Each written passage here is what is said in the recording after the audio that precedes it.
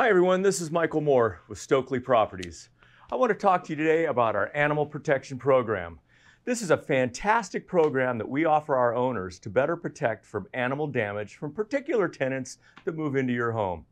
We call it an animal because the federal guidelines use the term animal when referring to service animals.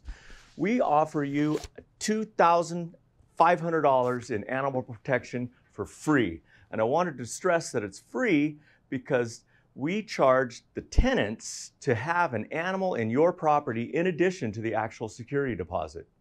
We screen the animals, we do an annual inspection, and we check up on those animals.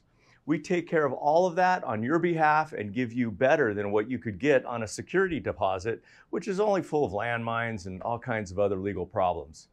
So this is covering damage above and beyond normal wear and tear by an approved animal not covered by the security deposit or preferred tenant program. We feel it's an absolute winner for you, the owner. We look forward to working with you in the future. And to learn more, visit us at stokleyproperties.net.